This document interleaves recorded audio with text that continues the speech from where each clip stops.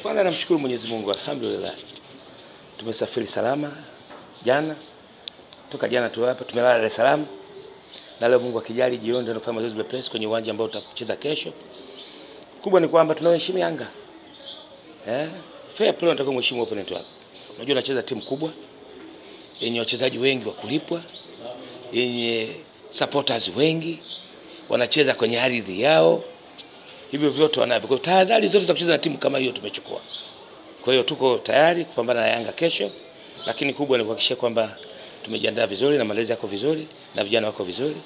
Cha msingi ni kuwaombea tu Mwenyezi Mungu kwamba hawa vijana walale salama leo na kesho waamke salama na inshallah wakatimize wajibu wao. Eh, labda niseme kitu kimoja. Mwalimu wa mwalimu ni mechi.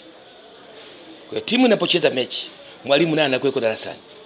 Kwa hiyo mechi tulizozicheza tumefundishwa vingi, kuna mazuri ambayo vijana wameyafanya ambayo tumeenda kuendeleza yawe mazuri zaidi, na kuna mapungufu ambayo yanasababisha kwenda kufanya makosa, nayo pia tumeyafanyia kazi kwa kiasi kubwa, kama si kuyamaliza kabisa, kuyamaliza kabisa haiwezekani, lakini kuyapunguza kwa kiasi kubwa tumejitahidi kufanya hivyo.